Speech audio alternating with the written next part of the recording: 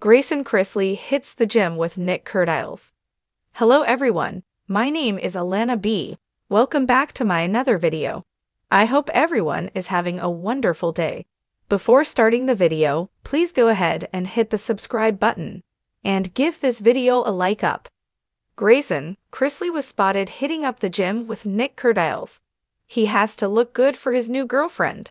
As TV shows Ace previously reported, Grayson was spotted with the young woman on TikTok. The two looked quite cozy with one another. The unnamed lady has been confirmed as his girlfriend. She claimed that he had saved her, but she didn't reveal what. Fans have been shocked to see how much Grayson Chrisley grew since his time on the show. Though the two don't like to spend time apart, Grayson had to up his gym game. He was spotted with Savannah Chrisley's boyfriend Nick Kerdiles. He appears to be in better spirits these days. The two guys took part in a special workout. Read on to learn more and to see the photo. Grayson Chrisley and Nick Kerdiles get their workout on Nick Kerdiles took to his Instagram stories to share his weekend activities. He snapped a selfie of himself at the gym with Grayson Chrisley. The former NHL player smiled up at the camera in his aqua tank top. He paired his gym look with a black backward baseball cap. Meanwhile, you can see Grayson Chrisley standing behind him. He didn't notice that Nick was taking the photo because he was too busy looking at himself in the mirror. Grayson perfected his form as he lifted weights. He opted to go shirtless in just a pair of black gym shorts.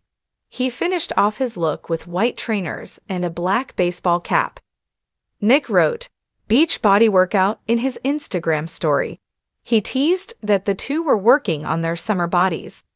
These young men don't need to worry as they look just fine.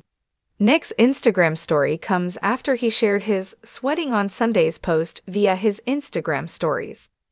Savannah Chrisley's boyfriend was glistening with sweat. Grayson Chrisley is helping Nick Kerdiles get through his workout. To kick off the new year, he headed to the gym to focus on his fitness alone.